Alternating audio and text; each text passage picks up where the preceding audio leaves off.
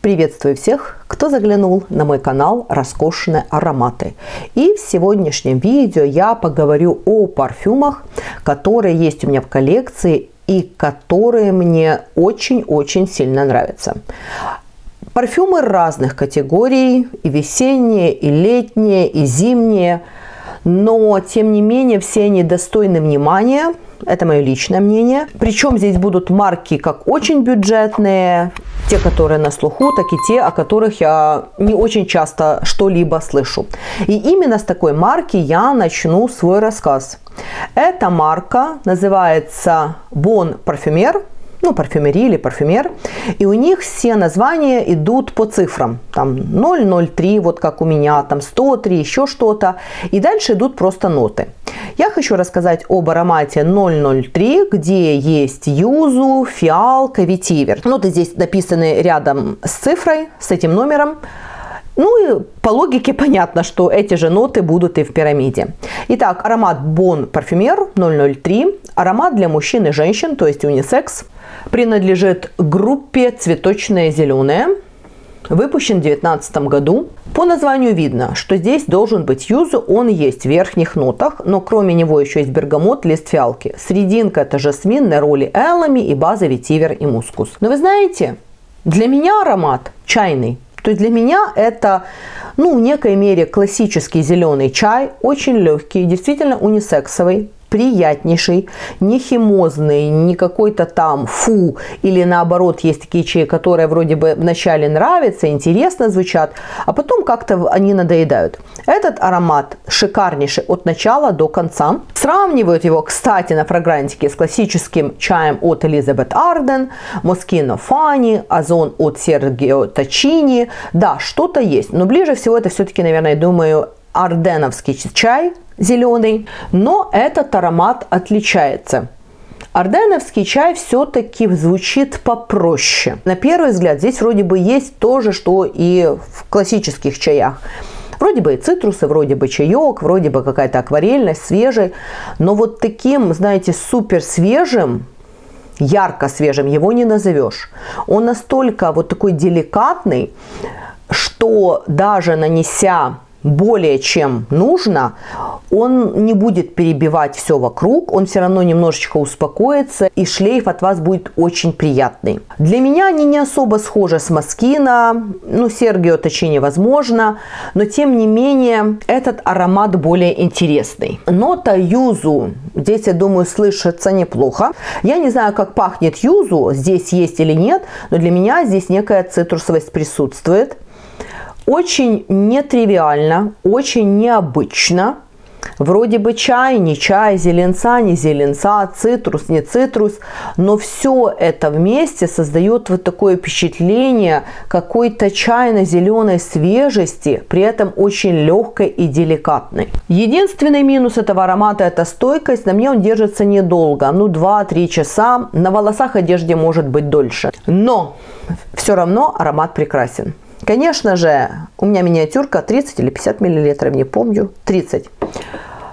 Для меня это мало, потому что этот аромат, когда я тестила, разнашивала, я наносила 4, 5, 6 нанесений, что для меня очень редкое явление потому что хочется его вкушать, хочется им именно поливаться. У меня очень мало ароматов, которыми хочется поливаться, потому что на первый взгляд вроде бы свежак, но нанес 3-4 нанесения, уже вроде как задыхаешься. Здесь этого нет. Здесь все как-то приятно и интересно, причем, если начало это для меня цитрусы с чаем, то в базе приплетается некая очень приятная нежная цветочность. Поэтому этот аромат я не могу сравнивать сугубо с Элизабет Арден Green Tea или с тем же Маскина Фанни. Вот что-то начало от одного аромата, срединка от другого, там база, когда он уже начинает уходить немножечко что-то третье, но этим он меня и зацепил. Но самое интересное, что во всей этой чайновой цитрусовости и цветочности я слышу, я думаю, все-таки ветивер. Вот некая такая строгость, некое такое легкое мужское присутствие здесь чувствуется. Но оно не делает аромат мужским и дает возможность вот это нотка ветивера, мужчинам также пользоваться этим ароматом. Вот для меня это классический, приклассический унисекс чайных ароматов. Мужчинам, особенно молодым, парням, я думаю, мужчинам до 30 подойдет на ура. Девчонкам и женщинам также подойдет. На лето самое то, и немножко сладости, и немножко какой-то кислиночки, и вот эта ветиверность, и какая-то строгость, и в то же время э, нежность. В общем, аромат меня покорил, что у меня уже есть желание попробовать другие ароматы этой марки. Я там смотрю на многие, потому что этот парфюм меня зацепил, серьезно зацепил. Вот если говорить о чайных ароматах, у меня любимчик это Нишан Вулонг Ча. И вот 003, наверное, будет на втором месте, а может и на первом. Будем еще и летом разнашивать и смотреть. Сейчас так не могу сказать. Сейчас он мне нравится немножечко больше. Вулонг Ча уже приелся. Но вот два чайных аромата, которые вот для меня, э, ну, эталон ароматов а зеленый чай с цитрусами. Вот если так кратко. Красивенный. Красивенный. Рада, что приобрела. Но как-то не раскрученная марка вообще. Отзывов очень мало. Хотя все отзывы довольно-таки позитивные. Причем на многие ароматы довольно-таки позитивные отзывы. Но почему-то не пиарят этот аромат. Не знаю почему. Продолжаем тему свежаков, так сказать. У меня тестерная версия, видите, без крышечки. Это аромат от Фрапан Ласкарина или Ласкарина. Не знаю, как правильно ударение. Об этом аромате я слышала также много всего хорошего, позитивного. Марка Фрапан мне в принципе нравится. У меня есть несколько от Левантов и остатки во флаконах, не буду уже перечислять ароматы. Многие хочу еще, кстати, затестить. Что касается аромата Ласкарина, аромат женский, принадлежит группе Восточные цветочные, выпущен в 2017 году. А заинтересовал он меня сочетанием нот. Верхние ноты груша, розовый перец и цитрусы там идут. Бергамот, грейпфрут. Срединка, цветок апельсина и роза. База это алибанум, черный перец, то есть что такое перченое, серьезное, ирис и амбрак Оксан. Я была уверена, что аромат мне понравится. Ну, он мне понравился, честно скажу. И что касается самого аромата, то он не так прост, как кажется. Я думала, что здесь будет такая сладкая дюшесная груша с каким-то перчиком, что-то такое девичье, легкое. Но, но, если начало и более-менее приятное, ну, для кого-то приятное, для меня также приятное, такое груша такая какая-то, может быть, в шампанском даже, с каким-то таким налетом специй легким, цитрусово съесть, то в базе все-таки вот эта перечность, может какая-то даже смолянистость начинает приглушать эту яркость груши, вот эту фруктовость, нежность, и аромат звучит немножечко иначе. Мне, например, это нравится. Я вообще не в шоке, что он там меняется, становится не таким. Действительно что-то новенькое, не похоже на все остальное, потому что либо аромат груша, фрукты, там цветы, либо что-то такое перечно-смоленистое. А здесь все звучит очень мягко и деликатно, и даже вот эта перечность, и ну, мне чудится какая-то смола, не знаю почему, оно все очень нежно и деликатно. Абсолютно никакого мужского намека нет, потому что все такие ароматы а-ля смоленистые, серьезные, древесные, могут уходить э, куда-то в мужскую сторону. Здесь такого нет. Поэтому, если вас не напрягает, что начало это что-то сладковато-цветочно-фруктовое, может быть даже какое-то медовое, но для меня это все-таки груша какая-то шампанским больше, а Дом Роса, но немножечко в другом направлении, то потом э, к базе все-таки аромат меняется. То есть появляется вот эта смола, вот я слышу смолу, но она настолько приятная, что не могу передать. И какая-то вот эта перченность, и какая-то древесность. Аромат становится более мужским, ну, в хорошем смысле, он женский, но с таким мужским намеком. То есть мужчинам он не подойдет. Нет, но вот это вот, как я говорю, мужиковатость есть, но она здесь приятная. Может быть более терпким, может быть более каким-то взрослым и серьезным.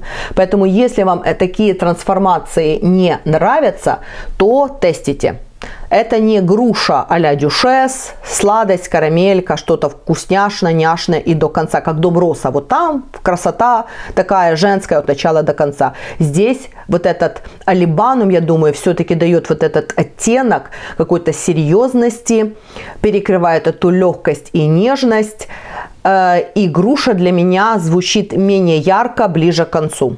То есть сначала ярко, дальше она пропадает, пропадает, и в базе уже вообще как-то не особо я ее слышу. Честно скажу, думаю, может мужчинам также следует его попробовать. Да, начало, возможно, вас смутит, но база будет сидеть хорошо на мужчине. Вот мне так кажется. Вот почему-то я так думаю. Поэтому также обратите внимание, аромат просто обалденный. Но эти два аромата рекомендую, естественно, на теплое время года. Бон парфюмер лето, жара. Ласкарина все-таки, наверное, теплая весна, теплое лето. На жару не знаю. Ну, дальше переходим к таким более серьезным ароматам. Ароматам а холодная осень, прохладная весна, зима. И Первый в этой подборке аромат от Кензо Нуи Татами. Вот такой вот флакончик. Э, у них, по-моему, 85 или 75, 75 миллилитров. Они, не знаю, как на видео, но в жизни они, ну, такие малюпучки. Вот смотрите, моя ладошка. Они такие миниатюрные, что даже не верится, что там 75 миллилитров. Этот аромат также еще не особо распиарен, так как выпущен в 2022 году. И, кстати, это унисекс, аромат для мужчин и женщин. Принадлежит группе «Восточные гурманские». Я, честно говоря, не знаю, причем здесь мужской аромат, потому что он для меня какой-то пудровый. И пудровый аромат я на мужчине вообще не представляю. По нотам здесь очень мало нот, всего 4. Рис, срединка, розовый перец, база, ваниль и амбретта. И он для меня абсолютно не мужской. Он абсолютно женский. Для меня лично это пудровый аромат. Причем на блотере этой пудровости я не слышу почему-то. Он какой-то для меня такой безликий, что ли. А вот на коже это такая миндально-ванильная с смесью или примесью гелиотропа пудра. Шикарнейшая вещь. Я люблю пудровые ароматы, мне они очень нравятся, но этот аромат оказался серьезным. Я думала, он будет легким, игривым. На данный момент у меня самый любимый пудровый аромат это Moncler Пурфам. Я делала обзор на этот аромат. У меня есть минька, шикарнейший. Здесь пудра более серьезная, более взрослая. Она звучит на грани стиральный порошок, вот что-то такое есть. При этом звучит аромат, вы знаете, как-то холодно, то есть вот эта холодиночка присутствует, потому что есть пудровые ароматы какие-то сладковатые, марципановые, миндальные. Но здесь вот этой миндальной ванильности как-то для меня меньше, а больше, наверное, все-таки какой-то гелиотропной пудры. И он звучит как-то остро, может быть, как-то по-перечному. Я не знаю, в чем здесь вопрос. Но так как в нотах есть розовый перец, я думаю, он играет свою роль и дает аромату вот какую-то такую серьезность. Не могу сказать, что аромат меня покорил прям ух и ах. Вот если бы я его затестила где-то в магазине или был бы у меня пробник, полноразмерный флакон, наверное, наверное, не покупала бы. Но так как я покупала без теста, то он мне, в принципе, нравится. И кому я могу порекомендовать? Для любителей не сладкой какой-то ванильной пудры. Если вы любите пудру, но вам не нравится некая сладость, приторность или изобилие вот этой миндальности, там марципановости, вот здесь все не сладко, но при этом немножечко ванильно. Я думаю, рис дает какой-то такой нюанс вот этой несладости. И розовый перец здесь слышится, ну не могу сказать, что хорошо, но так приличненько приличненько. И для меня здесь проскальзывает некая ирисовость. Не ириса, ирисовость. Вот то, что я сказала, и плюс ирис какой-то, все это можно здесь услышать. Также хочу отметить, что в аромате некоторым пользователям может почудиться некая уходовость. Может быть крем, может вот пудра, присыпка детская. Есть такой момент, но не сто процентов. То есть есть ароматы а детская присыпка, у меня есть аромат от Булгари, там Патит Маман, там сугубо детская присыпка. А вот здесь все более серьезно и интересно. Пахнет шикарнейше, не избито, не тривиально.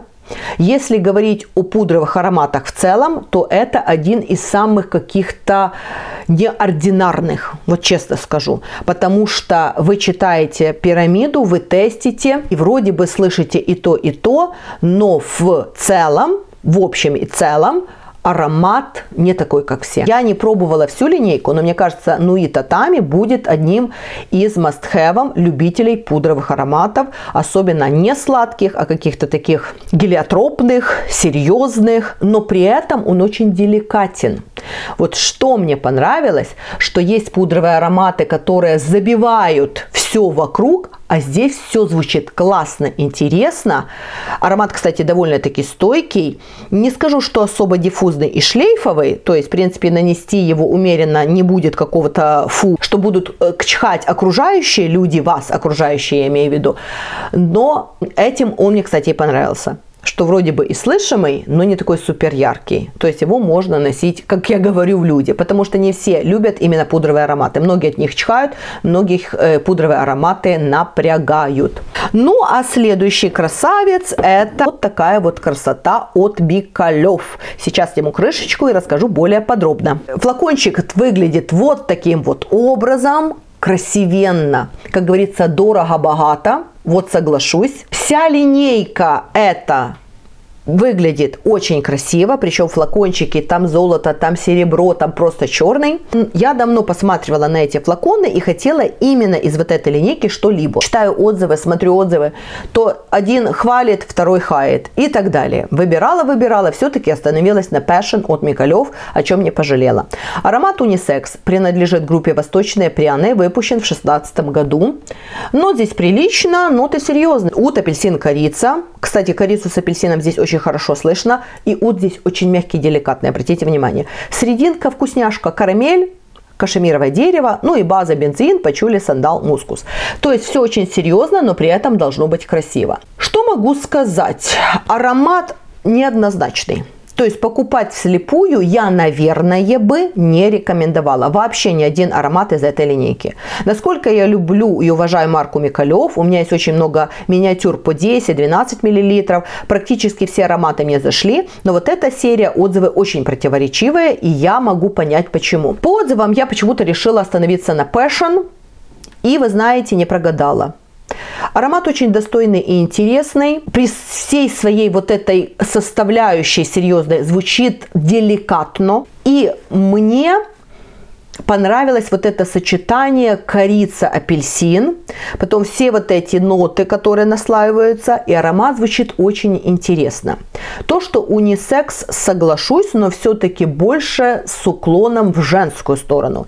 Мужчины такое может и будут носить, но я думаю, очень-очень редко. И, возможно, не на всех он сядет красиво по-мужски, потому что все-таки здесь сочетание апельсин-корица-ут звучит более по-женски. Сразу, когда вы наносите, я слышу смесь корицы с апельсином. Вот что-то, какая-то такая ассоциация. И уд есть. Уд такой не медицинский, не э, стоматология, а вот что-то такое более мягкое. Кстати, хочу сразу отметить, что аромат очень диффузный, очень шлейфовый и стойкий. Стойкость просто шикарнейшая. Ну, у Микалев стойкость всегда более-менее хорошая.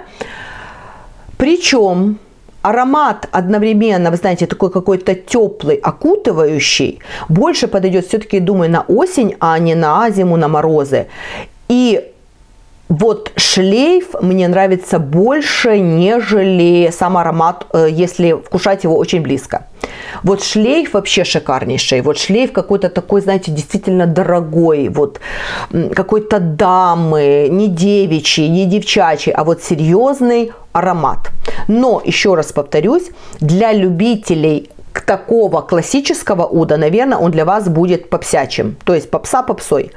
Для нелюбителей уда, а вот что-то бы вы хотели, наверное, да. Что касается э, раскрытия, то дальше аромат ну, мне кажется, сохраняется вот эта корица апельсин. Он становится для меня лично более сладким. Начало, мне кажется, более терпкое. Потом некая сладость проскакивает. Не зря в базе есть карамель. Может быть, цитрусы какие-то, может быть, сахар, вот что-то такое вкусненькое. Но вот базы как-то для меня здесь не положили.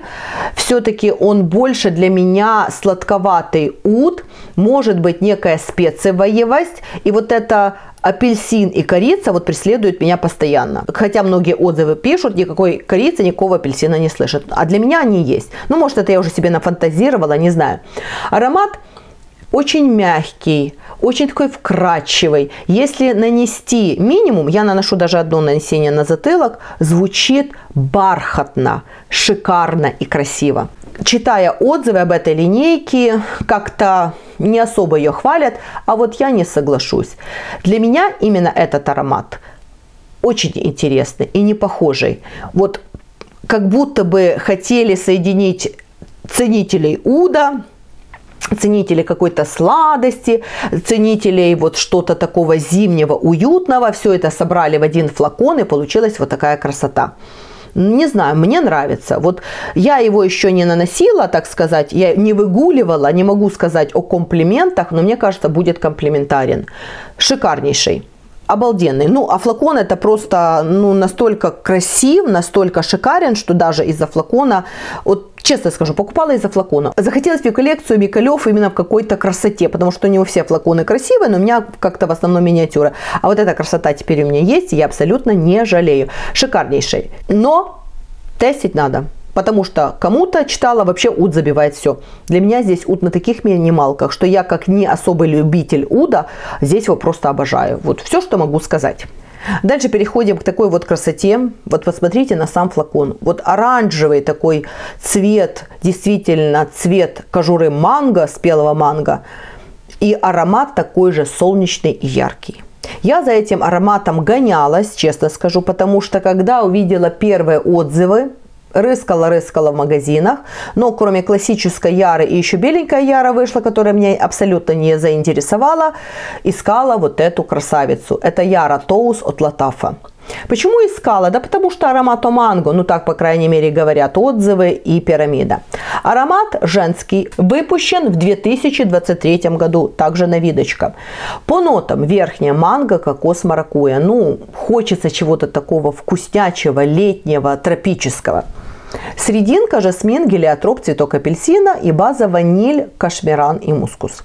Кстати, отзывы об этом аромате неоднозначны. Некоторые отзывы говорят, что это самая шикарная манго, чуть ли не круче манго скин от Вильгельм парфюмерии.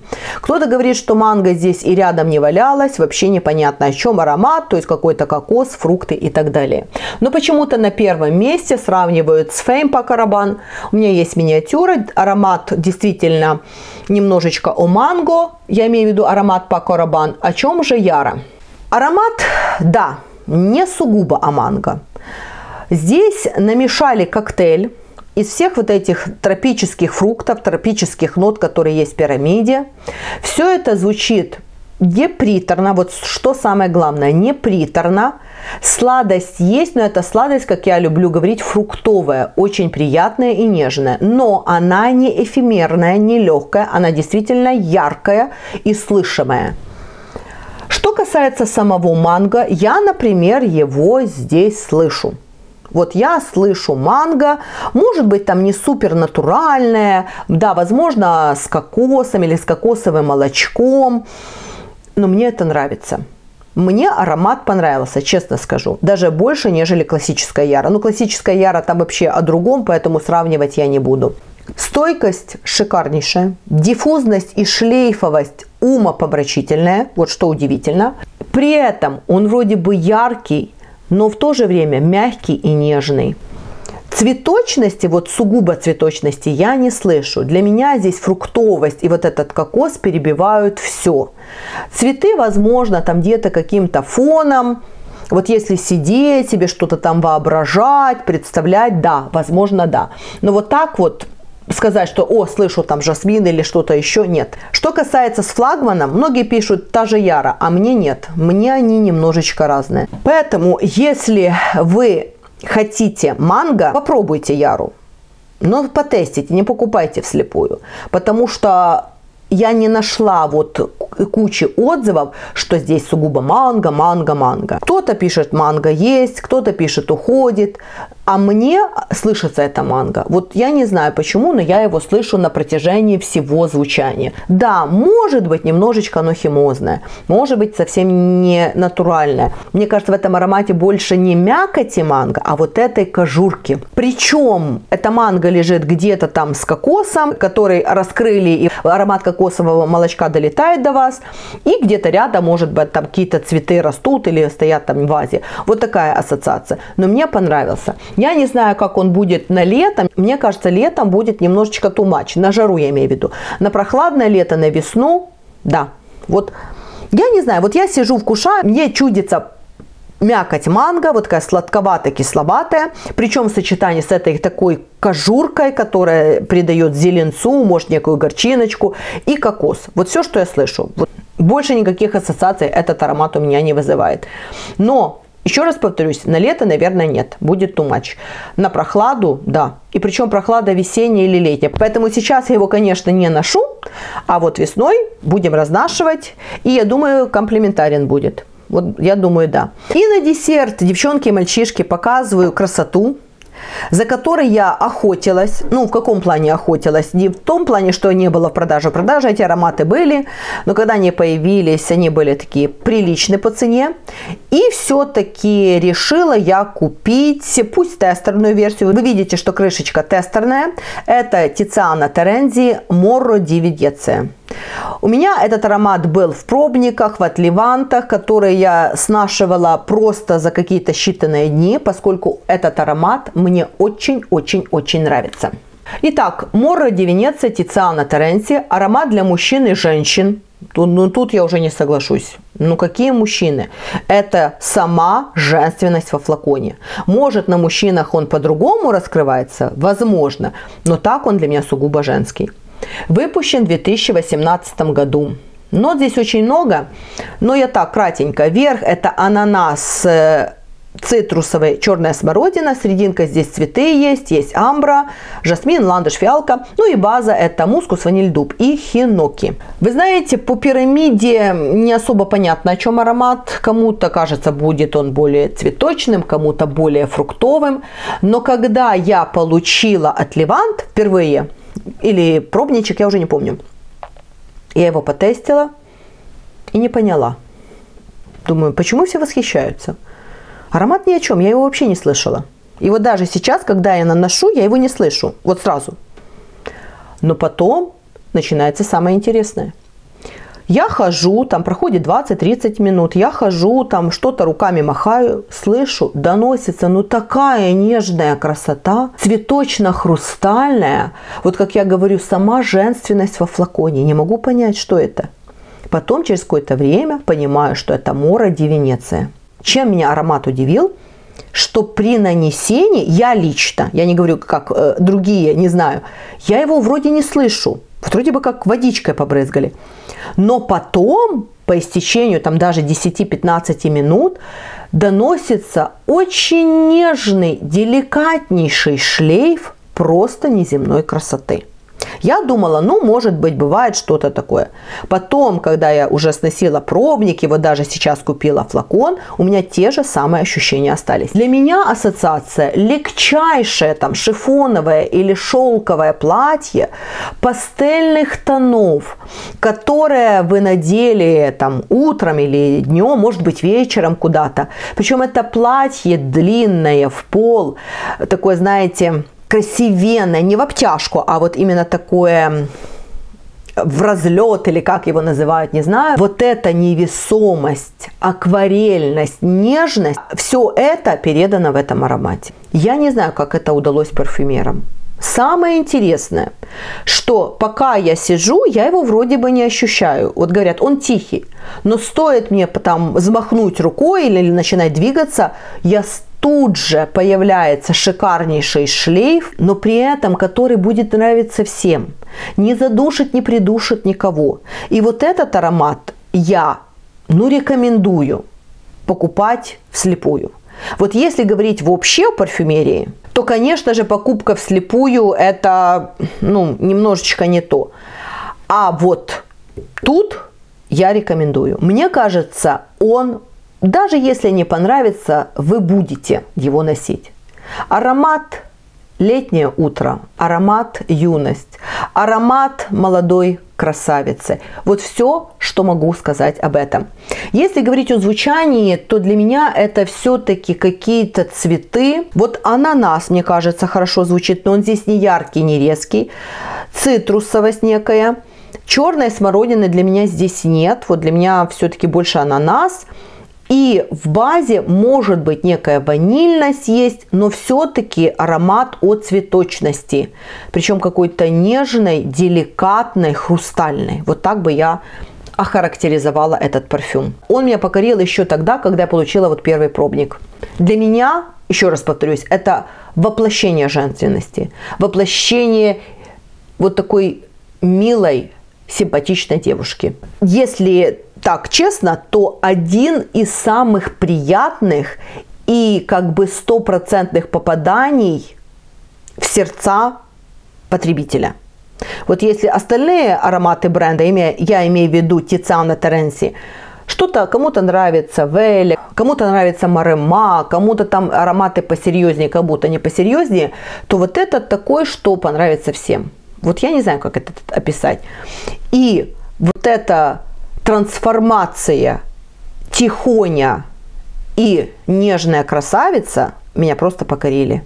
Меня просто покорили. Я не знаю, почему он не пользуется популярностью, потому что, когда он появился, вроде бы какие-то отзывы были, хвалили. Сейчас как-то о нем вообще забыли. Причем, я думаю, незаслуженно обделенный вниманием парфюм. Абсолютно. Вот честно скажу, если вы хотите что-то из марки Тициана Теренси, что-то такое удобоваримое, я бы сказала. Попробуйте Морода Венеция. Классные вот цветы, немножечко каких-то фруктов, может быть даже экзотических, но все это, еще раз повторюсь, деликатнейше собрано. Очень нежно и красиво. Аромат на работу, на отдых, э, там, на какие-то празднования, пожалуйста, пожалуйста. Все, больше ничего не могу сказать. В общем, я очень рада, что у меня есть флакон, пусть даже тестерный. Но ничего страшного, потому что коробки у Тициана Теренси такие огромные, что просто занимают очень много места. Итак, девчонки и мальчишки, вот такое вот видео у меня получилось сегодня о шести красавцах моей коллекции. Честно скажу, все ароматы понравились. Все ароматы просто ух, ах и вау. Причем покорили меня с первого затеста, с первого занюха.